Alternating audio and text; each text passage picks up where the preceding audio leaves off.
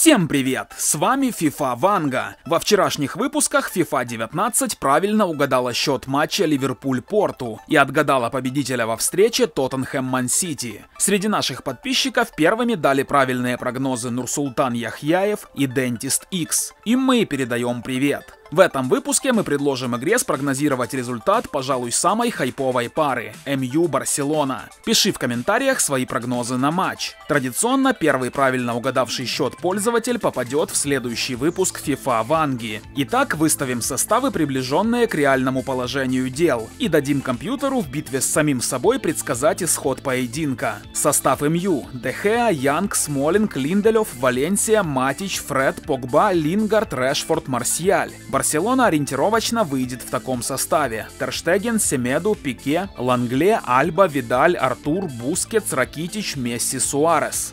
Итак, к матчу. Пятая минута, Суарес выводил Месси на оперативное пространство, но Лео решил отдать пас и загубил атаку. Девятая минута, супер момент у МЮ. Решфорд с убойной позиции зарядил в перекладину, счет не открыт. 18 минута, еще один шанс у Месси. После передачи от Видаля Лео пробил не очень сильно и Дехеа спас. После углового вновь было опасно у ворот хозяев, но обошлось. А вот в ответном эпизоде МЮ сумели открыть счет. Решфорд выложил под удар Марсиалю и француз уверенно реализовал момент. 1-0 впереди Манчестер Юнайтед. 28 минута, хозяева могли удвоить счет. Здесь Терштеген выручил дважды за одну атаку. Погба упал в штрафной, но свисток арбитра молчит. Сороковая минута и Месси продолжает транжирить свои шансы. Этот удар прошел значительно мимо ворот. Опасный прострел от Лео в штрафную, но на сей раз точности не хватило Видалю. Компенсированное время, удар головой от Месси, Дехеа спокойно забрал мяч в руки. Первый тайм завершился с минимальным перевесом МЮ. На ваших экранах статистика первых 45 минут.